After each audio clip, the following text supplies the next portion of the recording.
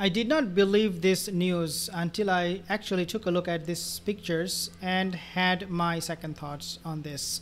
Now, obviously, you will e easily miss it if you just see these pictures. You'll miss it. Miss what? Miss this. Take a look at this. Uh, these are decoration that would give the impression to people that uh, a king is sitting in front of it. And this is the backdrop. This is what impression you get. Take a look at this. Uh, these are all decoration that Meghan wanted and she actually forced uh, according to one report the actual staff. She said to her you need to decorate this stage in such a way in such a way so that people will actually see and think and believe that I am actually the queen. Uh, round of applause. I'm the queen. And this is exactly what she tried to accomplish here according to this report. I'll actually read you in more details. But before I do that, if you're not subscribed to my channel, consider subscribing because good things will happen if you subscribe. Just kidding. But subscribe. So let's take a look at this report because I find this to be absolutely amazing. So Archewell stuff, this is the bombshell, that said that Meghan actually forced them to decorate the stage look like a throne. Yes this is uh, what Meghan wanted to make it look like a throne. You know the sitting of a of a king in front of a, on a, on a throne and proclaiming decreeing orders. Meghan was wanted same vibe coming from this.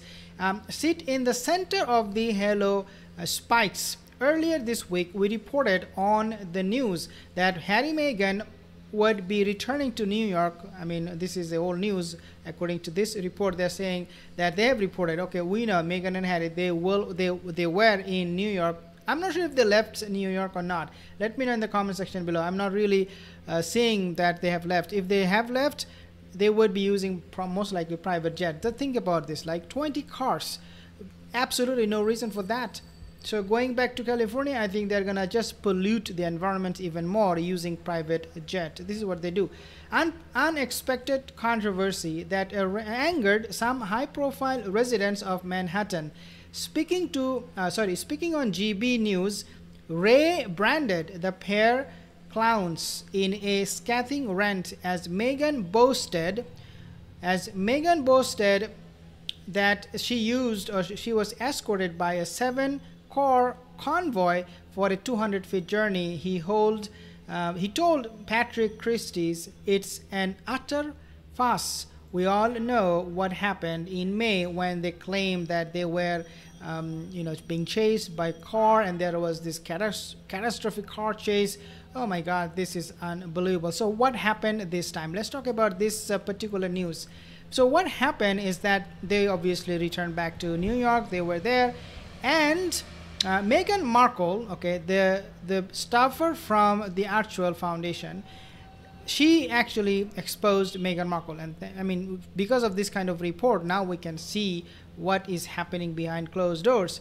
So what happened is that they had an almost car chase turn out not to be true ridiculousness. Okay so the on the stage of the project healthy minds a source. So this is coming from a source called uh, Project Healthy Minds. So they are claiming that Meghan Markle, uh, she forced or bullied this uh, staffer.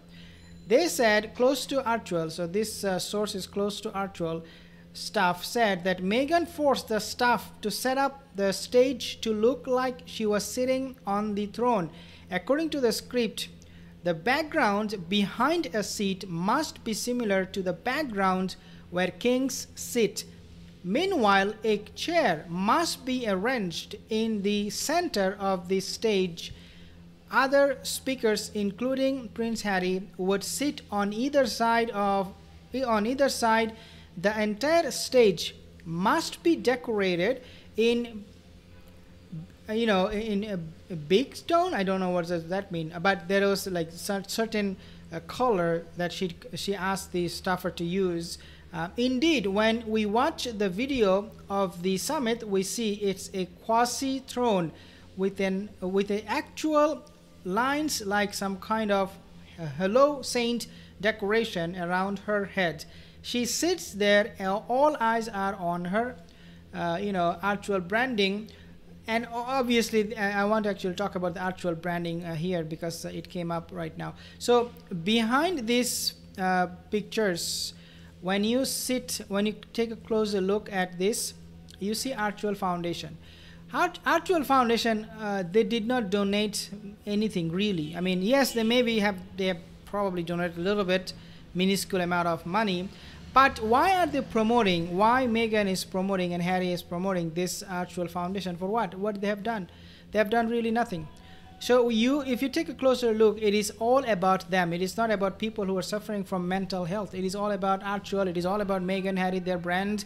It is all about me, me, me, me, me. Like they come to New York and then you see them using, you know, seven convoys of cars just to travel 200 feet this is about them this is not about any before anybody else everything coordinated tightly everything all for the pr the publicity the promotion the money making the self regarding image of her as a saint as a quasi queen she wants to sit in front of the halo spikes two men uh, to the side of her of her like as if guarding her honor like go the outside of the halo spikes she is like queen holding court in her own mind she is truly deranged and has um, histrionic personality or narcissistic personality disorder. Many people believe that Prince Harry's wife is copying the photo of William. So next, uh, I want to actually talk about this too. When you have seen uh, Prince William coming to New York he got obviously royal treatment um, from the New Yorkers and also from the city itself. Meghan, I mean, take a look at this picture, right? Meghan Markle, she would not let that go, let you know, let that pass just like that, and not create an impact, not not do something about this. So when she came to New York, she was in her mind thinking, I need to somehow um, do it better than uh, William, and it should appear to the public that New York they themselves welcome Harry Meghan the way they did. And so she asked this staffer, okay, from Archewell, that you need to do something about this. You need to re- decorate my stage, you know, where I'll be sitting in such a way that will create an impact in the minds of people that I am actually a queen too, quasi queen, as, as this uh, report is suggesting. It is obvious that Meghan Markle, she had something very, very bad in her mind. It was about competing with Prince William. Now, I want to actually uh, talk more about this uh, another particular news. So basically, you have seen what happened or what is happening in uh, Palestine in, in Israel, right? So William and Catherine they made a statement about the situation in the Middle East, and I was like, okay, so this is what they said. But what I was not expecting and what caught me off guard and very very surprising uh, to me was that they, Meghan and Harry, they also came up with their own statements. Like, who are you guys? You do not represent anybody other than yourself, and nobody cares about you. You do not represent a firm or a or institution. You do not represent anybody. Why are you guys making yourself look like an you know stupid, uh, unwanted people? These people are distraction instead of us solving this problem in the Middle East and elsewhere in the world. Now we have to be distracted because of those tweets Meghan and Harry posted supporting oh this and that and then we're going to change the world i mean who cares why are you guys doing this well the reason i know why you know why because they cannot let you know william and catherine tweet about the current situation in the world and Meghan and Harry just keeping it quiet. No, they're not going to let that happen. So this is exactly why uh, they came up with this tweet talking about the situation in the Middle East. Like, how much you even know honestly, Meghan Markle, how much do you even know about the Middle East? Harry made it even worse for the British people when he talks about Taliban and all that. Doesn't need to do that.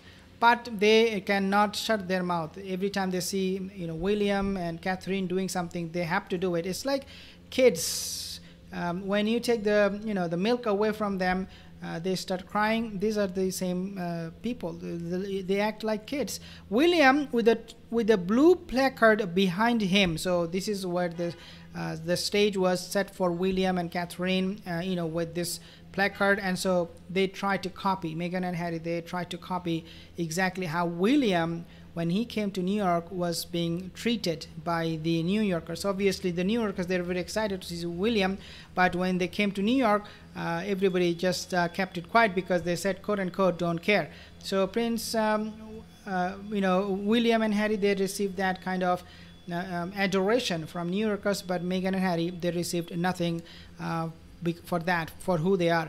I have some comments here. Marion Small, thank you guys. Sherry, um, and Barb, and and I have some comments. Marion, thank you guys. Lynn, thank you so much for your comments. Leave a comment in the comment section below, and I will see you in the next one. Have a wonderful day.